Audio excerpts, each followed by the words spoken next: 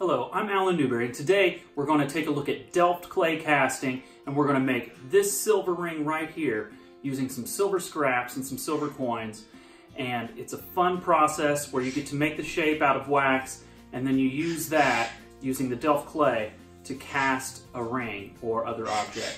So let's go take a look. This is actually my second attempt at making a video on Delft clay casting. In the first video, I took a ring that my mother had had for many years, but the stone was lost, the settings were broken, and it wasn't really a repairable ring. So we took that and melted it along with a few other bits of scrap gold and made a new ring out of the old ring, which was a family heirloom but was damaged beyond repair, and took kind of a sad thing because she was bummed out about the old ring being broken. And now she has a new gold ring that she wears a lot and was made by her son. That would be me. And uh, she's happy with the ring, and now it's back to being a usable piece of jewelry. That's one of the great things about Delft clay casting is that you can take old jewelry, scraps, and make them into new things. So right here, I am packing down the Delft clay into the frame. Uh, I first pack it down with my hand and then hammer it out to get it really nice and tight. Um, a lot of times I will pause and hammer it kind of in the middle even.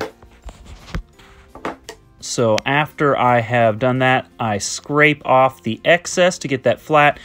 Uh, a lot of people use a metal ruler. I generally use a bar of steel, but I'm doing this in my kitchen because the lighting was so good in there today.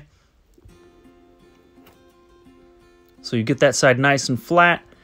Then after that, we're going to put some baby powder. You can use talc powder, but that's basically what baby powder is, and I had some. So I'll sprinkle that on there, and then I will brush off the excess.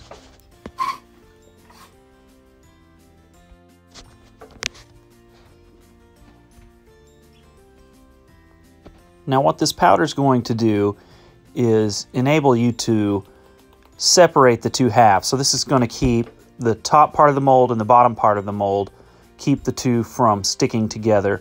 We're going to put it onto the clay right here, and then I've got some that I've already put onto the wax ring that I have made.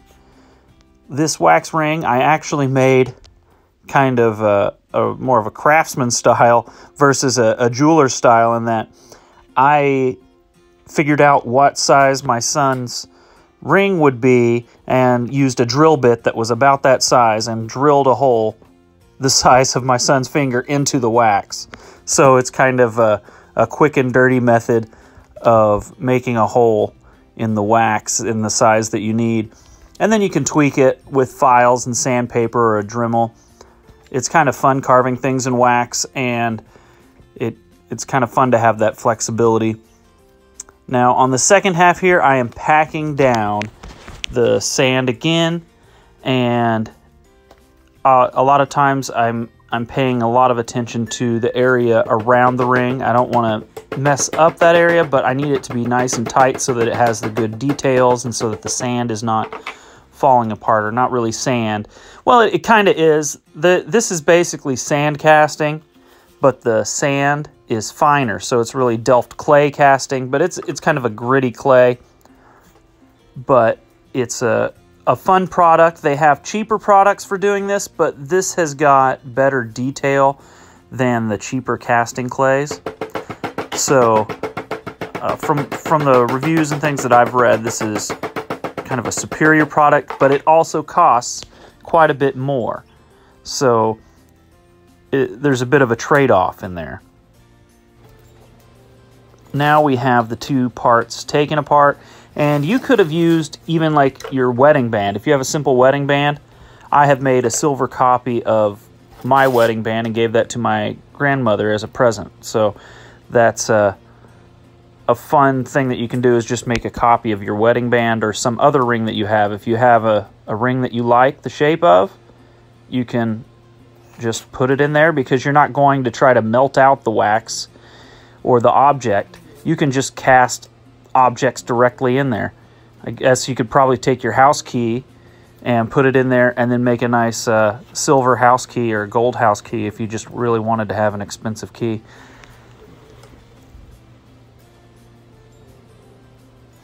Right, I'm, what I'm doing here is I am now carving out what will amount to the funnel to where the uh, I will be pouring in the molten silver and then it's going to go kind of down that little funnel that I made and it will then fill up with silver. So here I am removing the ring. You can use tweezers and things like that. Sometimes you get a little bit of damage that you can kind of push down. If you totally mess up one half but have one good half, which I actually ended up doing in this, is you can just put the other half back in with the ring still in it and then hammer it in and get uh, kind of have a second shot at one of the sides. Anyway, so here I am making the other half of the funnel. And so just make sure it goes all the way down to where your ring is or other object. You could be making a pendant or something like that or even a piece of knife hardware, which is one of the things that I'm wanting to do is make some uh, cast guards and other furniture for my knives. So that's one of the things that got me interested in the process. Right here, I am making some little channels for air to go into so it, the air can kind of escape out of the mold so that I don't end up with kind of like some little air gap in there where the metal didn't go. I want the air to be able to escape fast. And so this is something that you can do to help try to reduce the risk of having a bad pour that has, you know, like a little gap in it or some air bubbles in it. So what I do here is cut very thin channels. Sometimes you'll get a little bit of the metal will go in there, uh, which it does in this particular pour. And that's fine. You just snip those off with your pliers. It's not really a big deal. Um, but it, you know, if you get the sizing just right, it's it's good for the air to escape, but the metal doesn't really go down in there. So some of the times I'll get some metal in there and sometimes I won't. And then I'm kind of poking holes that go outside the mold so that the air can actually escape all the way out of the mold.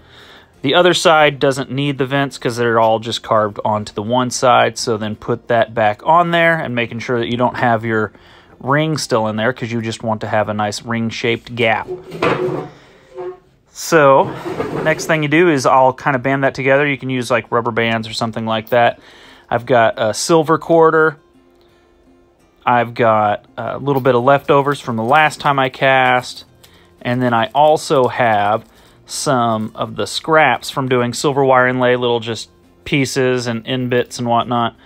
And so I'll blow that down with a little bit of the uh, propane torch. That is enough to do the small casting. It's, a, it's hot enough to melt gold and silver and brass and things like that. But if you have too much of the metal, you're not going to be able to do it. So if you had maybe twice that amount of metal, it's going to have a hard time melting it all. But with this amount of metal, the type of size of a pour that you're doing for you know a normal size ring, it's plenty fine to use propane. You could also use MAPP gas or an oxyacetylene torch would work as well. Uh, the white powder that I've been kind of putting in there off and on is borax, so it's just a little flux. And so as I'm melting that, I kind of tilt it around to get all of the little bits of silver incorporated into my little ball of metal. And then I'm going to be kind of keeping an eye on it to see when it looks the way I want it to look. Here I'm getting kind of close, but whenever I tilt it kind of over to the side, that part of the crucible is not hot. So I'm kind of tilting it over there, but I see it's nowhere that it's kind of robbing the heat from the metal. So now I'm heating up the pour spout as well as the metal. And I'm kind of looking to see that that metal is flowing. It kind of looks like a little ball of mercury. Whenever I wiggle it, it moves really well. And I can kind of look whenever the there's kind of like a skin over the over the metal and I like to see that that's like really kind of light and just kind of swirling and you know just doesn't seem like there's much there and then whenever it looks just how I want it to look I go another maybe 20 or 30 seconds just to double check and make sure. And I'm going to keep that heat on it the whole time, even during the pour. And uh, here I'm about to do the pouring.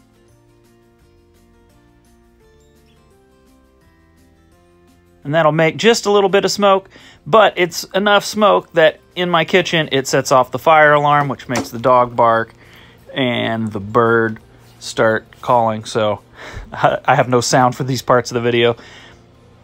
And here is what it looks like as it's poured into the mold. It cools off relatively quickly. Uh, then put it in some water so you don't burn yourself when you hold it. Kind of clean off the little bits of the clay that are still, you know, stuck in a few of the spots. And then I'll show it to you again. And there you go.